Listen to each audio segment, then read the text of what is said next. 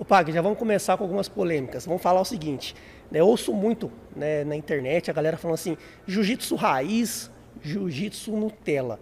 Né, o que, que, tem de verdade? O que, que, seria isso aí que a galera tanto discute hoje na internet? É, isso é um, é um, um chamado né, que criaram por causa do jiu-jitsu competitivo. Né? Tem muito lutador que trabalha, que luta por ponto no jiu-jitsu competitivo, não tem aquele jiu-jitsu agressivo de antigamente, de buscar uma queda, de buscar uma finalização. Então, muitas, muitos lutadores trabalham de uma forma somente na guarda, então colocaram esse título para diferenciar, né? Nós temos lutadores exemplos, referências como Roger Grace, Bochecha, Felipe Andreu, entre outros, que são jiu-jitsu que a gente chama de raiz, jiu-jitsu que busca a finalização, que busca uma queda, que busca uma, uma acabar com a luta como era antigamente, né? Jiu-jitsu mais antigo, o jiu-jitsu, a maioria hoje, infelizmente, dos lutadores trabalha para ganhar a pontuação e ganhar a luta, não buscar a finalização, que na verdade é a essência do jiu-jitsu é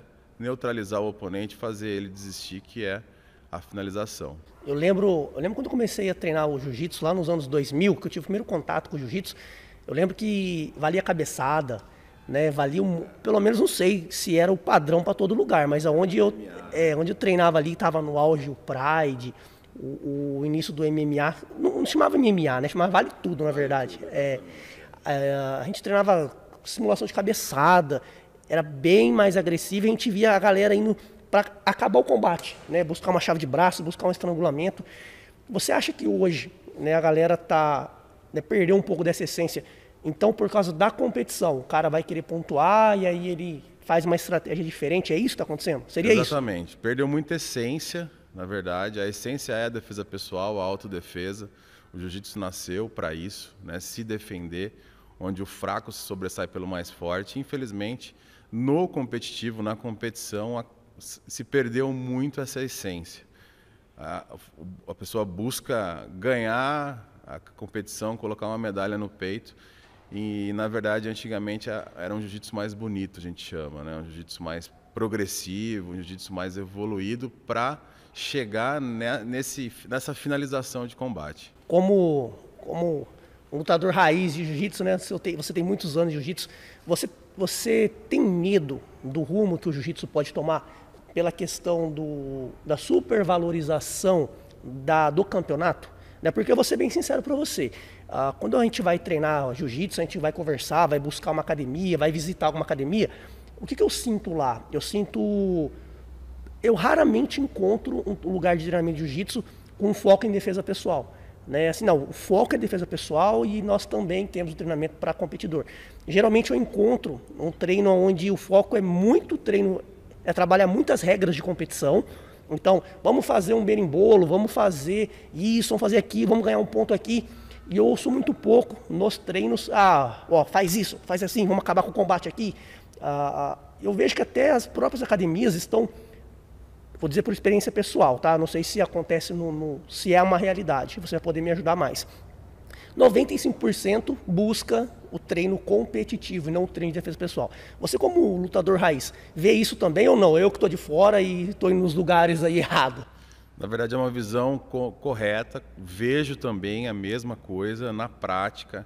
Se você for, acho que esse, esse percentual é até maior. Se você for, em, vamos colocar aí, em 100 academias se você achar 10 academias que está trabalhando na defesa pessoal, é, é, é, raro. Infelizmente, se perdeu a essência, na maioria das academias, isso é um fato, na busca do jiu-jitsu competitivo, foco. Aí você perguntou o medo. É, é, na verdade, eu, eu tenho esse medo sim, eu acho que não pode perder a essência. São, é uma essência que tem que prevalecer, porque, como o nome já diz, é uma essência. Né? E falando em polêmica, eu, na verdade, quando eu treinava né, em 2000, 2002, 2005, por aí, né, nas minhas faixas, né, desde a faixa branca até a faixa preta, eu era, entre aspas, por algumas pessoas, considerado um creonte, um traidor. Por quê? Na academia que eu treinava, não tinha defesa pessoal. E eu busquei em outra academia que tinha o foco na defesa pessoal, aprender a defesa pessoal.